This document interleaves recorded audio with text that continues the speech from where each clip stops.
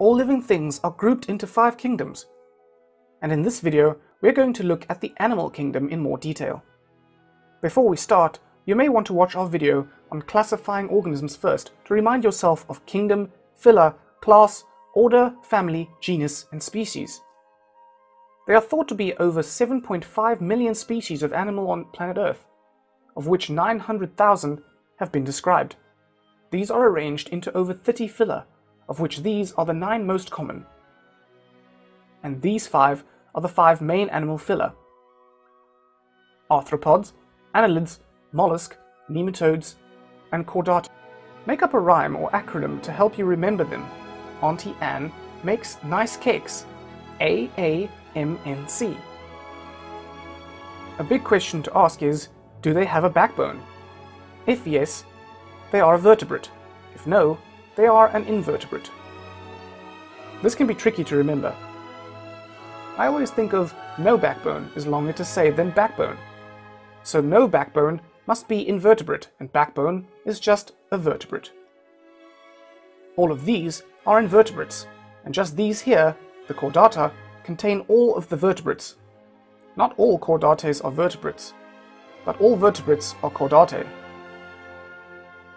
Let's have a look at the vertebrates in more detail. There are many different classes of vertebrate, but the five most well-known ones are the fish, birds, amphibians, mammals, and reptiles. Again, make up a little acronym to help you remember. Farmer Bob ate marmite rolls. Each class has different characteristics that defines them. Like mammals, which have fur or hair, feed their young on milk, and are warm-blooded. Pause the video and have a look at what the difference is for each of these five common vertebrate classes. Sometimes people aren't too sure whether something is a reptile or an amphibian. Reptiles have scaly skin, breathe air, and usually live on land, except for turtles.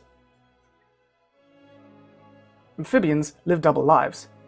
They start in the water and breathe gills, and as they grow older, they develop lungs. Once inside a class, so mammals for example, different species are grouped together in even more detail.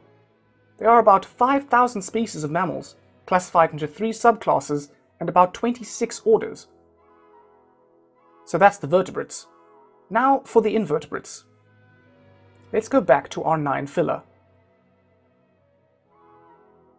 And the five main ones, remember, Auntie Anne makes nice cakes. Let's have a look at arthropods in a little more detail.